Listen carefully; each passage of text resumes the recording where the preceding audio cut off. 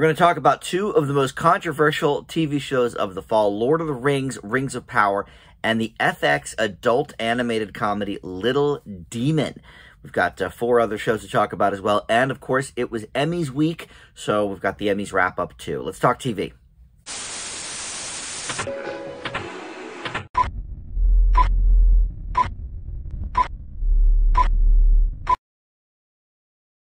Hey guys, Dan here. This is Dan Reviews It. Welcome to TV News and Reviews for the week. Yep, we're going to talk about Lord of the Rings, Rings of Power. Uh, we've got two animated shows as well, Little Demon and over on AMC Pantheon. Uh, we're going to talk about the Woodstock 99 documentary series uh, that was on Netflix a few weeks ago. An import from the UK over on Peacock now, Everything I Know About Love, and then also uh, a new animated show for kids from the people that brought us the great Phineas and Ferb this one called Hamster and Gretel. So we'll get to all that. But uh, first, want to remind you that uh, we do TV news and reviews here every week on the channel. Uh, usually about six new shows that we tackle. And uh, there's always, you know, with the streamers and stuff, year round, there's always a lot of new shows to talk about. So we do that every week here on the channel. So um, if you are, are new to TV news and reviews, uh, check out some of that stuff. But uh, in news, you know, usually we run through you know, a bunch of different things, casting news and uh, renewals and cancellations and X, Y, and Z. But uh, this week, it was all about the Emmys. The 74th primetime Emmys was uh, this week. Kenan Thompson was the host.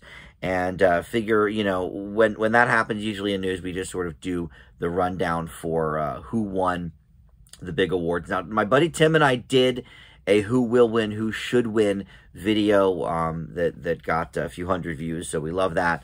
Um, and I, I think, I didn't really go back and count, but I think either we tied or I beat him by one because he didn't pick Zendaya. Um, but I, he did, I think, pick another one that I did not pick.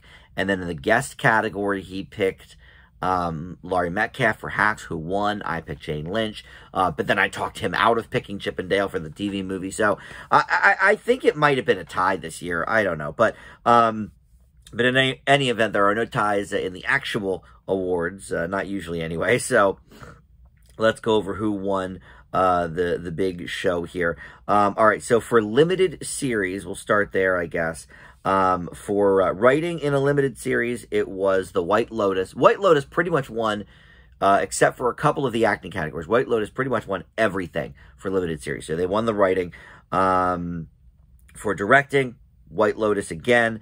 Uh, when we go to the acting, it was Murray Bartlett and Jennifer Coolidge, both for The White Lotus for supporting. Um, but then for the lead roles, that's where it differs. It was uh, Michael Keaton and Dopesick, so deserved. We love that. Um, and then Amanda Seyfried for The Dropout, which I still never finished, but uh, I guess I'll have to do that. Um, for variety stuff, Saturday Night Live won the variety series, but it was only up against one other show. This is at least the second year in a row they've done that. It's Saturday Night Live, Black Lady Sketch Show, and nothing else. I'm sorry, if you only have two things up for a category, you got to get a new category.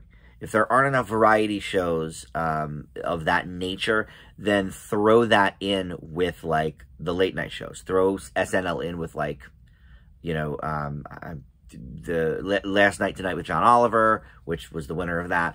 Um, you know, Seth Meyers, whatever. Throw it in with the late night shows because a category of two is uh, honestly quite lame. For uh, outstanding writing for Variety uh, was Jerrod Carmichael. That's for a Variety special um, for his um, stand-up special. But they count. It's funny they say outstanding writing for a Variety special, but they have um, the Daily Show like special in there as well, um, and then uh, the Norm Macdonald special. But is there writing for a variety show? There isn't. Or maybe if there is, it's in like the Creative Arts Emmys. I, I don't know. These are just the, they have like three different Emmys shows because they have the daytime Emmys. Um, you know, a couple weeks ago they had that, and then they have the Creative Arts Emmys, which is some of the, you know, the, I don't want to say the lesser awards, but you know, we we all know. And then the big show. So uh, maybe they had writing for variety show in the Creative Arts Emmys. I don't know. But uh, for comedy series, it was Abbott Elementary. Uh, Quinta Brunson wrote that, and um, there was some controversy there because Jimmy Kimmel was doing this you know, kind of stupid bit, honestly, um, where he was so mad he lost his 13th in a row Emmy, um, that he got so drunk and Will Arnett had to like drag him out. But then they call the award and then Jimmy doesn't get up. The bit doesn't end. You know, I, I think he should have probably been like, okay, bye now. Like, bit's over. It's Quinta Brunson's uh, moment. But, but whatever. You know, in my mind, and, and look, her and Jimmy are kind of buddies. You know, he he gave her the, her uh, her first late night spot when he saw the Abbott Elementary pilot, um, which which you know he loves. So he's always been one of her supporters. So it's kind of weird um, that they did that. But she was on his show a couple days later and and said, look, you know, whatever it is, what it is.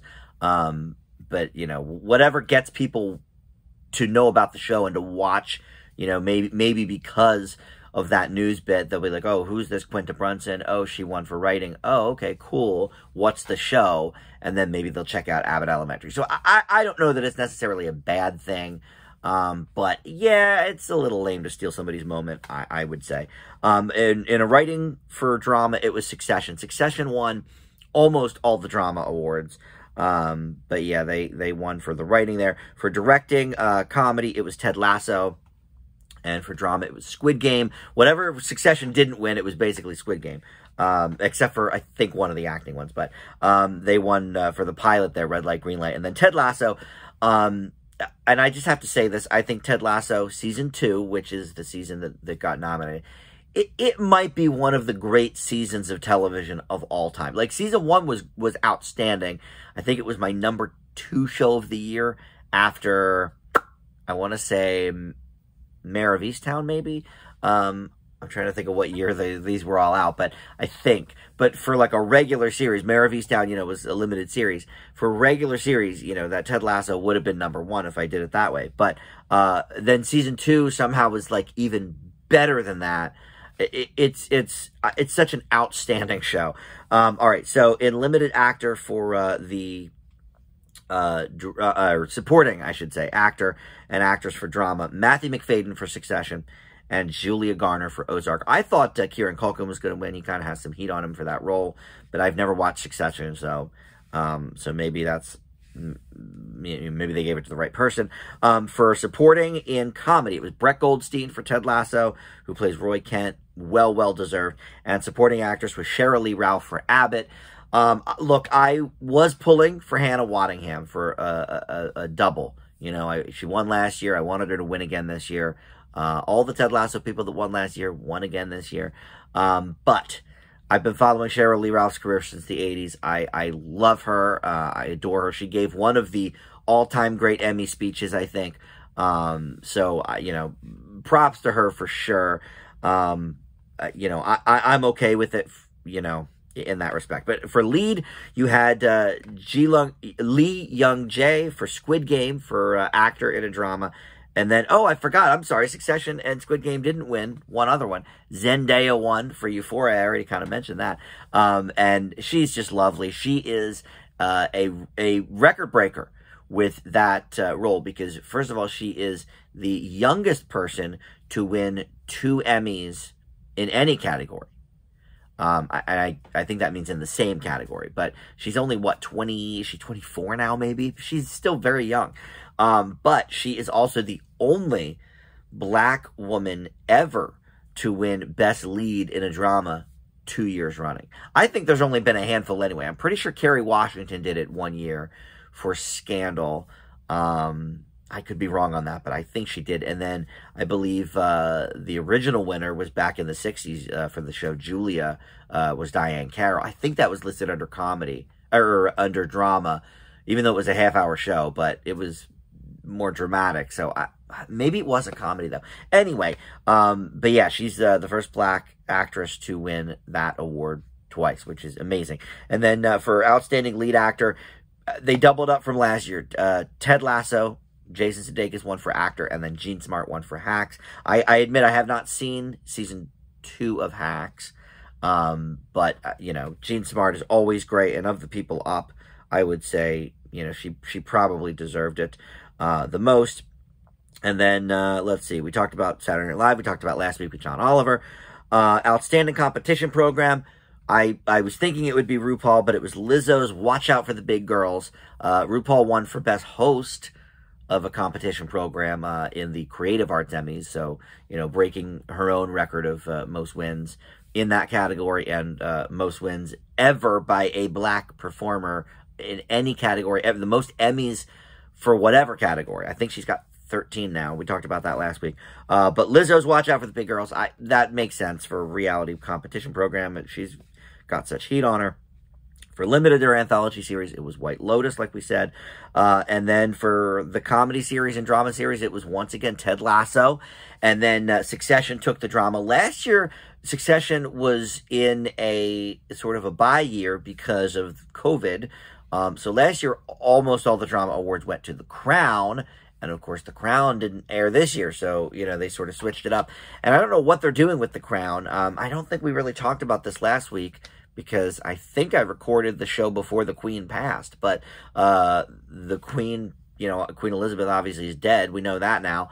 Um, but the Crown has decided to sort of suspend uh, filming for an indefinite amount of time. Um, it will be back, I'm sure, but yeah, for now, in sort of deference to the royal family, they've said, you know what, we're gonna we're gonna sort of pause this, put a pin in this. So I don't know when we're gonna see season. I guess it's five of The Crown, um, but at some point, I imagine we will see that, but probably not as soon as we had hoped.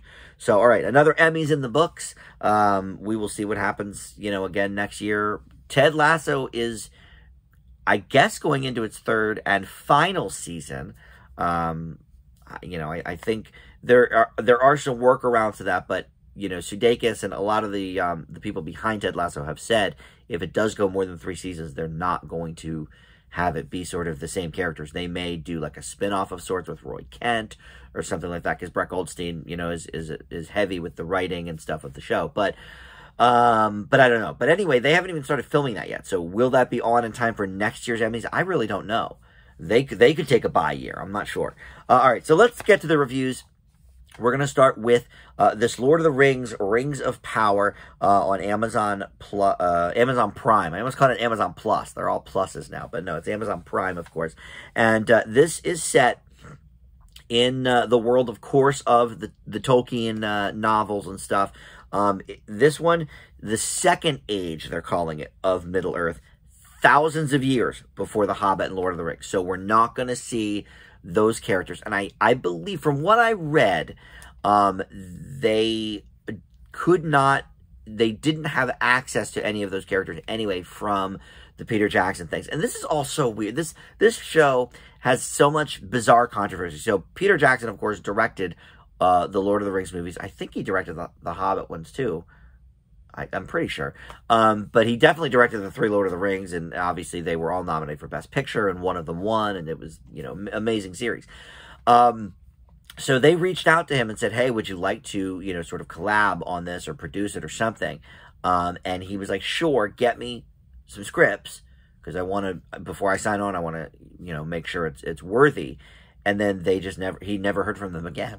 so, like, so I, right away, when I read that like a year ago, I was like, well, that's kind of weird. Well, I read that factoid months ago, but um, but when I heard that he wasn't really involved with the show, I was like, all right, we'll see how that goes.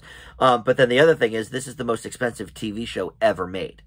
Um, they have they have sunk uh, about a billion dollars into uh, the the first season. That includes now the rights to the stuff. Um, and those rights, I believe, go for five seasons. So it does it doesn't just incorporate the first season, but in terms of the filming, I think about 500 million went into filming this first season. That is for TV. That's nuts for a show that's only I think going to be eight episodes, maybe ten, but still, like that's crazy money. Um, Disney doesn't even spend that on their Marvel shows, which and they spend a lot of money on those too. But so uh, most expensive show ever made. So that's that. And then even before the show came out, when people were able to start rating it and reviewing it on things like IMDb and Rotten Tomatoes, well, the uh, you know the the you know white supremacists, like you know I guess you want to call them the, the racist a holes out there, uh, you know all had things to say about the uh, the makeup of the cast because they're oh my god, there's people of color in this cast. Middle Earth doesn't have people of color. Newsflash, they're all fake people. It's like the, the whole Little Mermaid controversy. Mermaids aren't real people, so it doesn't matter. Um, but anyway, so all of that stuff sort of um, I, I don't know put I think a pall over kind of the the beginning of this show. Um, of course, my grade doesn't reflect you know any of that stuff. I, I base things on okay, what does what does the show look like? What does it do for me? How is it? Uh, you know, how is it? But here's the thing: this whole Lord of the Rings thing, much like Game of Thrones, which uh, I reviewed was that two weeks ago, I think, um, with the new Game of Thrones show. I am not like the biggest fan of all this like big broad fantasy stuff. I have seen the Lord of the Rings films. I saw them one time only in theaters, but it was the director's cut. It was like a re-release. So I've seen, you know, a lot. Um and I think it's fine. Like it's it's great. It, it obviously looks amazing. The acting's so great. The story's great. Um it, it's just it's not something that I would put on you know, oh, what, you know, I have three hours to kill. I guess I'll watch a Lord of Rings movie. That's not me. Um, but obviously they're, they're very well done. So this is, this was never, I think, going to be the kind of show, much like the Game of Thrones thing a couple weeks ago, that I am going to go back to and check out. Um, so, you know, how, how is it for what it is? Well, first of all, it is probably the best looking show I've ever seen in my life. You can really tell that they sunk money into this show, even if you didn't know beforehand that this is the most expensive show ever made, blah, blah, blah. It looks it. I mean, the trees and the lush landscapes, it reminded me of the movie like Avatar, like the, the atmosphere of this and the look and the beauty of this show. It reminds me of Avatar, which, you know, is not a movie I particularly care for, but it looked great, right? Um, and we'll see what happens when Avatar 2 comes out. But so right away, you are, at least I was, sucked into this world. Um, because it just, it looks amazing. And my TV's not even that big. I have a bigger TV downstairs than I used to now, but, um, but I watched it upstairs uh, where I work and the TV is a, a moderate size, let's say. Um, but it looked gorgeous. This is one you don't want to watch on your phone. You don't want to watch it on, on your iPad. Watch it on a screen, on a big TV screen, because uh, that is what will do it. But but anyway, um, we haven't even gotten to, to the cast and the premise. Um, most of the people I, I, don't really recognize, to be honest, which I think is good. I think it's probably best that we don't know necessarily who these people are. But uh, Morfydd Clark uh, plays sort of the lead here, this elven warrior called Gal Galadriel. Um, and then there's, you know, Lenny Henry, Will Fletcher, Fabian McCallum. I don't know any of these people. Um, so that's that's kind of how we are. But yes, this is set thousands of years uh, beforehand. It begins with uh, some some relative peace in uh, the, the, the Middle Age here, um, or the the Middle Earth Second Age, I should say. Um, and then they're they're looking for the the rings of the power, the rise of this Dark Lord Sauron. Now, of course, we've heard Sauron. We've heard that name before um, and then the fall of the Island King and um, uh, the kingdom, I should say. And then uh, this is kind of the era of the last alliance between elves and men. So we see all of this sort of play out. Um, we're getting to know the characters. We are getting to know the world. Even though we know Middle Earth, we don't quite know everything about the world. Um, look, this is, I think, for people that like Lord of the Rings, this is going to hit that spot.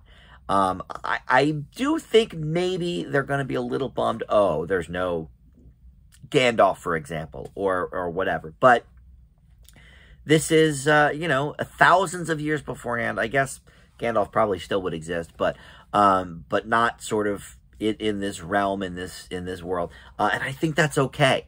You know, I, I think to redo the movies, which I think most fans would agree are basically perfect, um, I think it wouldn't have, there wouldn't have been a point to it.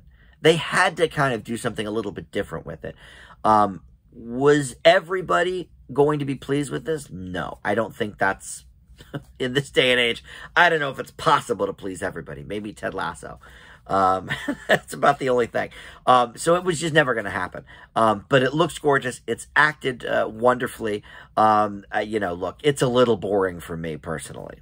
I think that's safe to say. But, um, uh, you know, I would like them to get to some of the, the plot schematics a little quicker. We're we're really doing all the character development, you know, in, in the first uh, couple episodes here.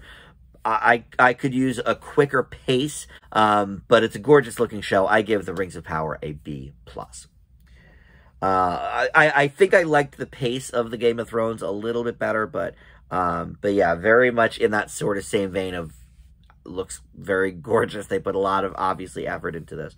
All right, so up next, we're going to talk about Little Demon. This is uh, a bit controversial as well because they were airing commercials for this on some football games and people were up in arms about it because, oh, it's, you know, a mature show for adults and Disney's behind it and you know all, all the lies on the internet oh I can't believe Disney Plus is behind this show and it's not on Disney Plus, morons. It's on uh, FXX and subsequently on Hulu, which, yeah, okay, they're owned. I, uh, yeah, Hulu is majority owned by Disney. That's fine.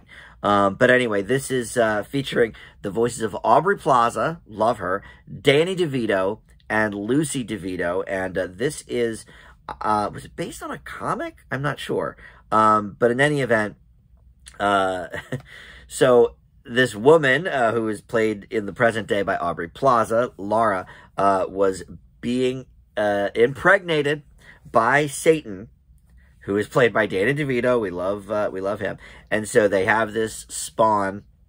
And uh, Chrissy is the name, and now she is a teenager, and she's coming into her own, and she is the Antichrist. Um, and they're trying to live an ordinary life, but obviously that's not happening. They are uh, fighting for the custody of uh, the daughter's soul. Um, Michael Shannon also appears in this as a uh, recurring character. And listen to this this cast list of guest stars.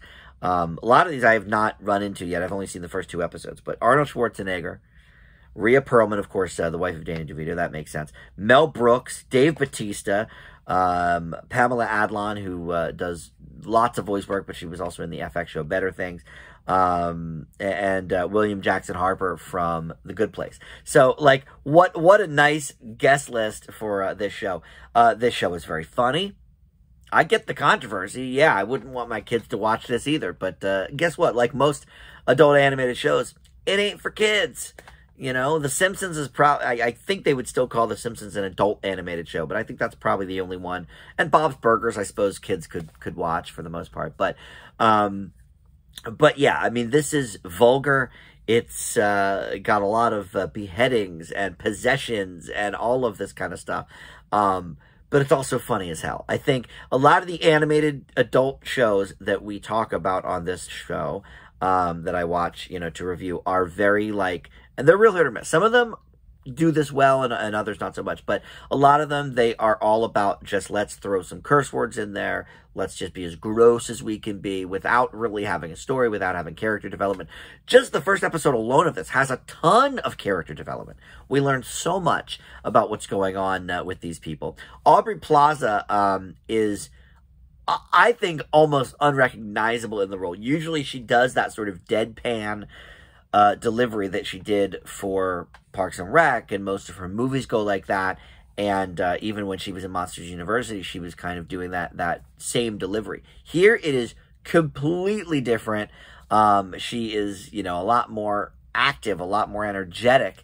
Um, and it's really cool to see. You know, I, I, would not have guessed that it was her if I didn't know. Danny DeVito, of course, is DeVito as always, um, but Lucy DeVito is his daughter, which I don't know if she's really done any any other things. Have we seen her in things? Um, I'm sure we probably have, right? She is best known for her role as Stephanie in Melissa and Joey. That was that uh, show with Melissa Joan Hart and Joey Lawrence ten years ago on. Uh, was that on Lifetime or something. So, all right, I guess maybe we don't know much about her. Um, in her other filmography, uh, she's got some very, very small roles and things. Yeah, I mean, I, okay, she had a little arc on Mrs. Maisel. All right, so for the most part, though, I haven't seen her in, in anything, but um, but she's great here as well as uh, as the daughter. This is a funny show, um, and yeah, it's it's not for kids. Now, my only issue with it is is it going to get repetitive? You know, um, because really the the whole theme of it is trying to get the custody of her soul, um, and we see her kind of as a coming of age story. Okay, but are they going to give us more to go on than that? I'm not sure. But these first couple episodes are are really funny um, and and good stuff. So I leave Little Demon with a B plus. All right, another adult animated show. This is this goes in a different direction. I mean, kids could watch this, but I think they'd be bored with it.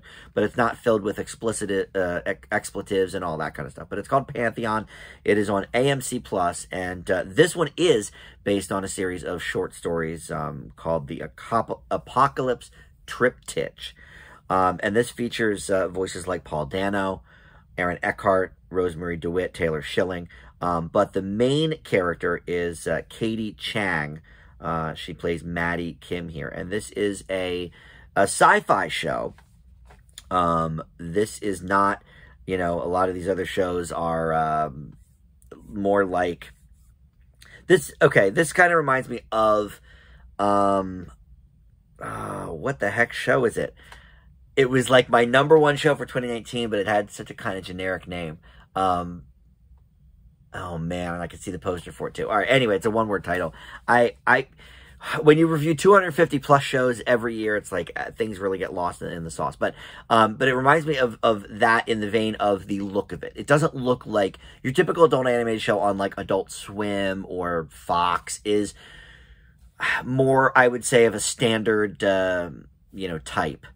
But this is this actually kind of looks like an anime almost. It looks like what I would call maybe like a more soft anime, like an anime movie, like a Miyazaki kind of thing. Not, you know, where the the girl's eyes are huge and they've got big boobs. It's not it's not like that. But um but yeah, it's like, you know, a Miyazaki type of animation, um, if you're familiar with him. But um it's all about uh this this family and they are um you know, it's a world where uh, you can upload your memories. Was that show called Up? No, because there's another show called Upload. But it reminds me a little bit of that in the in the plot too, um, which I think was on Amazon a couple of years ago. That lasted, or maybe it's still on. Um, but I think there's two seasons up of that. Uh, Undone is the other show that I'm thinking of. That's that's Upload, Undone. I you know I get them confused, but yes, Upload.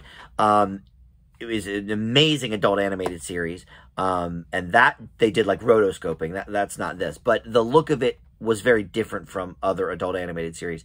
And this we get the same. It looks very very different from uh, other things I've seen. My big problem with this one is certainly the pacing. These are hour long episodes, 40 45 minutes really. Um, but uh, you know, yeah, we're getting to know the characters a bit, but they don't really dive into the plot hardly at all in that first episode. We don't really even find out what's going on with the upload stuff and, and what the, the whole point of the characters are.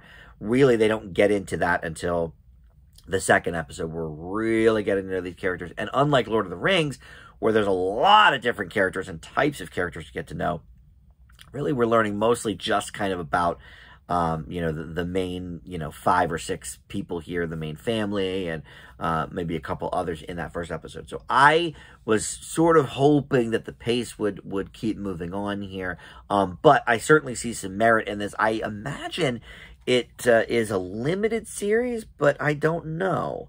Um, it doesn't say it's limited, but I guess because it's based on a series of short stories, I suppose they could have more coming in or or um, you know whatever. I don't know how many they go over in this, but um, but yeah, I, I like this. I think the pacing is an issue. Um, these these could have been half hour episodes for sure. Um, so I, I will uh, knock it down a little bit for that. Uh, but I'm going to leave Pantheon with a B. I could go B minus on it depending if they pick up the pace or not. But for now, I will leave it with a B. All right, so next let's go to Netflix for Trainwreck Woodstock 99. Uh, I'm going to actually, I think it's going to be my next TV news and reviews, is going to be an all Netflix special because Netflix has put out a bunch of shows in the last like month or so that I just haven't gotten to. Everything else is, is sort of, you know, taken precedence and, um, but they just every week they have one or two new shows coming out. And so I thought, all right, well, I'll do a whole Netflix special, but I had room for, uh, an extra show this week. And so this one came out about a month ago at this point. Um, and I had not watched it originally because I watched a uh, a documentary movie about Woodstock 99 Last year, I gave it an A. It was fantastic. I think it was in my top ten of the year for movies. So I thought, eh, you know, I've kind of, I've kind of done it. I've seen it, and this is only a three episode, you know, docu series. So usually when they're that short, I, I won't really cover it because I'm like, uh, you know, it's it's almost like a movie at that point, kind of. It's when it's less than three hours. But I ended up binging all three episodes yesterday, um, and it's it's great. I mean, like I. I the Woodstock 99 thing is fascinating to me because at the time, and I talked about this when I did the, the movie uh, review for it, but at the time I was programming an alternative rock radio station and, you know, we were all part of this sort of culture of playing these, you know, hard rock, nu metal bands, Korn and Kid Rock and Limp Bizkit, um, and, and all that stuff, and sort of ushering in this this era of really, really angry white kids, um, you know, college age and, and less, um, that basically, you know, caused the destruction of Woodstock 99. But as the movie explores, this documentary explores as well, did they really you know, cause it, or was it more the promoters taking advantage of them and not having uh, any good uh, water or not letting them bring in their own water on you know the hottest days of the year um you know ushering in all this angry music to the stage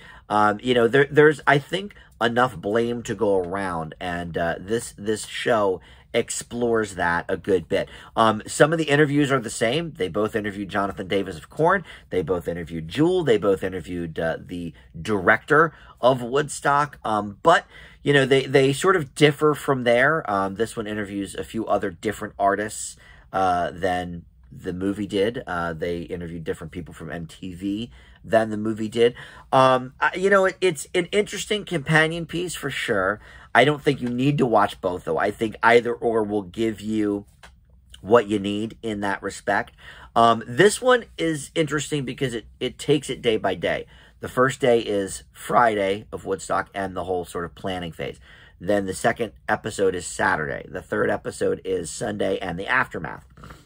And so it's an interesting look that way. Um, whereas the movie, I think, maybe jumped around a little bit more. But in both cases, I just it it has stuck with me. That movie, I still think about all the time because it's so insane to me that this was able to, to happen the way it did and, and, and all of that. Um, I, I find the subject matter of Woodstock 99 fascinating as a, as a music fan, um, as a concert fan, and as somebody who was sort of, you know, really in that industry at the time. Um, and, and, uh, you know, my buddy Jason and I had thought about going up to Woodstock 99. I'm glad we didn't, I guess, in, in the aftermath. But, um, to say that I was there maybe would have been cool as long as I stayed alive. But, um, but yeah, I mean, I, I, I think, uh, this lays a little more blame on the promoters than anything else. Whereas the, the movie, I think sort of also blamed a couple of the artists for encouraging it. Um, and this did too. But anyway, I don't think you need to watch both, I guess is my point. Both are done very well. Both are, are excellent accounts of the events. Um, I, I would say I'll give this one a slightly lower grade just because um, I, I personally already sort of saw the whole thing, I, you know, and it's hard to forget that I did see the whole thing. Um, so a lot of it for me was just sort of repetitious um, in, in that regard. But it also was a bit repetitious with itself. Like the third day Sunday when all the the really bad like riots and stuff were happening. How many times can you hear a talking head say something to the effect of it was anarchy. It was like Lord of the Flies. It was like nothing I ever seen. It was like for 10 minutes straight, we just heard people saying that. We got it. You know, we can see it on the video. They got some great video too um, for this. But yeah, this is another one, you know, if you didn't watch the movie, I would say definitely check this out. I leave Trainwreck Woodstock 99 with an A minus. All right, so next is uh, Everything I Know About Love. This is uh, originally from um, the BBC, and now it is on Peacock. You can stream it there. Um, it's a seven uh, seven part first season, um, but this is based on a a memoir, a fiction memoir, whatever that means, um, of the same name. And uh, there's nobody really that I think you would recognize here. Um, well, Bel Powley, I recognize that name, but when I saw her, I didn't really know who she was. But uh, she's she mostly does BBC stuff. So, um, but anyway, this is uh, sort of um like I don't want to say Friends-ish because it's not a sitcom. Um, I would say maybe more like a slightly more dramatic Sex in the City kind of thing. Um, I guess I would say um, because you have all of these. It's not just women though. You know, Sex in the City. You think of um, obviously you know mostly women, but um, no, this is you know uh, guys and girls, and they are navigate. You know, in their mid twenties, I would say, kind of navigating um, their their lives and their love lives specifically. I think that is kind of what most reminds us of Sex in the City. Um, is is that it's pretty much about their love lives and um, all of that kind of stuff. Um, I, I think it's good, but I don't think it's anything that we haven't seen before. Like I feel like this is one where it's it's been kind of played out, especially in the streaming age when all these streamers are, are putting up, you know, a show a week or, or in some cases multiple shows a week. We've seen a lot, even Peacock, they did a show called Five Bedrooms, I think two years ago, um, that I gave an okay grade to, but then I went back to it and started watching it again. I was like, you know what, this is, I, I don't know, I'm kind of over this. Like, I'm not going to finish it. Um, and it reminds me a little bit of that. And that was also an import from the UK. Um, and that was, you know, it had a little bit of a different vibe to it, I think. Maybe slightly more comedic. Um, but I just, I feel like we've been down this path so many other times with so many other shows. Um, that there's nothing inherently wrong with this show. It's, the acting's fine. The writing is okay. Um, but I don't know that there's like an ounce of originality in it. There, there isn't like one character that necessarily stands out to me as being something a little different. Um, you know, the, the lives of these people intertwining, the, um, you know, the, the characters themselves, nothing about this, um, is original at all. But it wasn't bad. Like I wasn't bored watching it. I, I am fine with it. But there's so many of this type of show um, that I just I know Peacock's got to up their slate and stuff, but to me, there just there just doesn't seem like there's enough to um, to be anything that that stands out. Um, so I, I will leave everything I know about love with a C plus. It's perfectly fine, um, but just not original at all. So, all right, finally, we will close with uh, a kid show. If I have a kid show on the docket, I usually will close with it. Um, and you know, a lot of the younger kid shows I don't review anymore. Um, we used to, I used to review like preschool shows for whatever reason. I guess because I have small nephews and whatever. But um, but I don't really do that anymore. But if it's like a, you know, a, a tween show or like a, a show for, you know, kids my nephew's age, which is like in that seven to twelve kind of range, um, I'll, I'll, still review it. But when I saw this was from the Phineas and Ferb team, the creator of Phineas and Ferb created this, I was like, all right, well, I, I got to check it out though because Phineas and Ferb is hilarious. Um, you know, it's, it's one of the best kid shows uh, that's been on in a while. But uh, this is on Disney Channel originally, but uh, you can see the episodes on Disney Plus as well. Hamster and Gretel is uh, the name of it, and it follows this this girl Gretel and her pet hamster uh, after receiving uh, abilities from an alien, superhero abilities. Um, and now their uh, protected brother Kevin uh, must work with them to uh, to you know sort of keep their identity a secret and also um, you know give them rides everywhere, you know, that they don't want to fly. But Michael Cimino from Young Victor plays the brother. Beck Bennett from Saturday Night Live voices the hamster. And then uh, the gal that voices Gretel, I'm not familiar with. Melissa uh, voices Gretel. But uh, this was commissioned for 30 episodes. Now, I think when they say episode, it's one of these things where there's two, like, segments in an episode. So really, I think there's only probably 15 half-hour episodes, um, but 30 sort of segments um, I, I, would say. But uh, this is not quite as funny as Phineas and Ferb, but um, I definitely got some some laughs from this. I was um, sort of floored by um, by how funny it was um, with with kind of a simple concept. Um, Joey King does a voice here too. Again, talk about unrecognizable Aubrey Plaza. But uh, I I've seen Joey King in like three movies in the last couple of months. The Kissing Booth 3 and Bullet Train and uh, The Princess on Hulu. And I didn't recognize her in this at all. If I didn't know it was her, would have no clue. She is I think she's really going to be a talent in the next few years. Um, you know, if she finds the right project that makes her a, a really big breakout star, because I think she's got a lot of talent. But she like plays the best friend um, of Gretel here, and um, it's a little bit silly that nobody, including the best friend, uh, has a clue that oh my best she even says it in the first episode they sort of do a wink wink thing where oh i have a best friend named gretel uh, too and she's got a hamster too and isn't that weird would you sign this autograph you know for her um, you know, it's like, all right, you know, now now we're being silly, but they're kind of leaning into that old trope, you know, from the old Superman show and stuff. So, um, so it's okay. But yeah, I mean, look, this isn't as funny as Phineas and Ferb, and it does sort of have a similar, like Phineas and Ferb. It was like they were boys, and the the sister was always put upon and ignored and whatever. Here, they sort of twisted on its head. I don't think we've met the parents yet. Um, you know, the parents sort of did factor into Phineas and Ferb, but here it's like, you know, the, the brother is, is put upon and, and never listened to and all of this, and it's the sister who is, you know, got the uh, abilities. So it's it's a little bit of a, a, gender bend version, but yeah, there's some similarities there. But I, I thought this was a pretty fun show um, to add to the Disney roster, so I'll leave Hamster and Gretel with an A minus. I would say it's the best show of the week. Um, along with Woodstock, I suppose.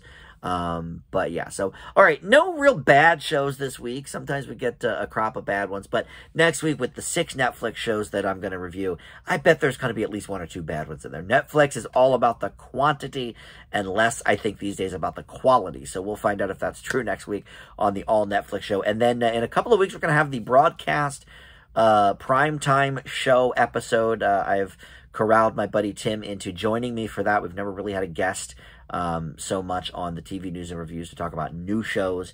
Um, so we're going to talk about you know everything that premieres. I think the last big show that premieres on a network is October 8th, maybe. So, we, you know, we're still a few weeks away from doing that show, but uh, that'll be one coming up as well. So, thanks so much for watching. We'll see everybody next time on Dan Reviews It. Bye.